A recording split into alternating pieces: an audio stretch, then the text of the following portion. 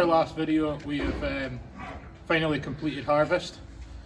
It's been a, a harvest of, um, it's almost been two harvests this year. The winter crop was relatively straightforward. Well, the winter oats and rye were relatively straightforward.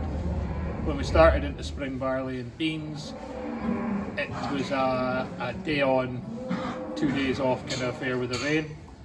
We, after a couple of false starts at the beans, we uh, finally cut them on the 10th of September.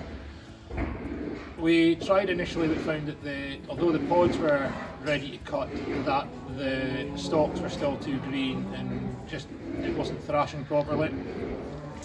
So we left it for a, a week and then we went back and it was a different, um, different thing altogether. Yield was disappointing. We were aiming for three tonnes to the acre.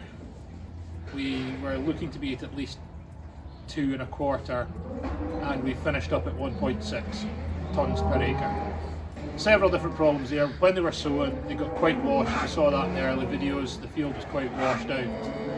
A lot of plants were missing.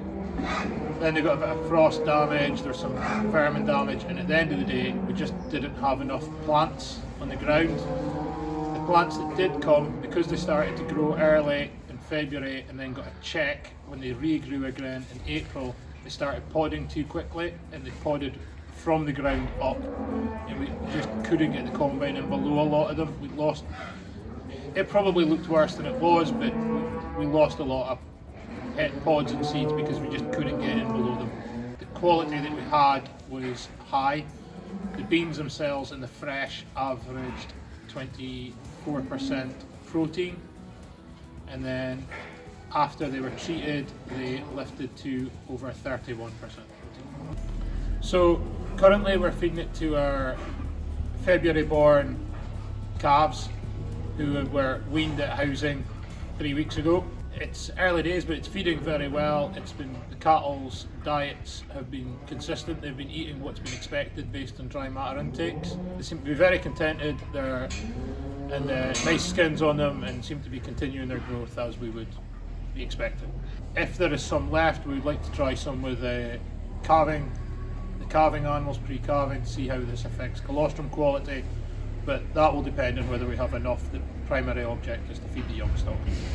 So we cut the rye at the end of August. Um, after a bit of intrepidation about how that might go due to the height of it and the type of the stalks, it was actually a dream to cut and probably about the best stuff we cut all year due to the weather. It sailed through the combine. We were delighted with yield.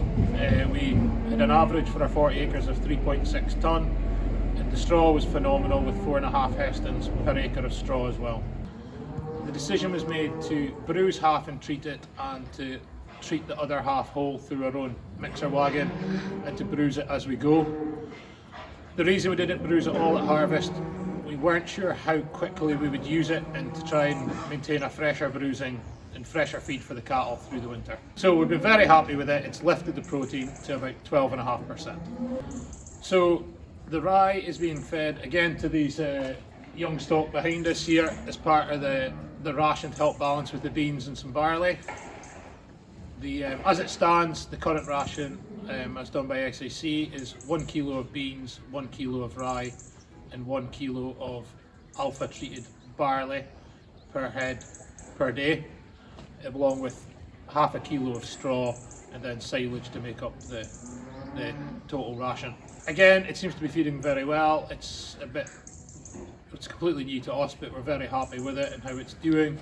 We are also feeding a kilo and a half per head to our autumn calved cows and bull just to help with the extra energy, just to put a bit more milk on them and give them energy to bull and hopefully get them in calf quicker and keep them tight.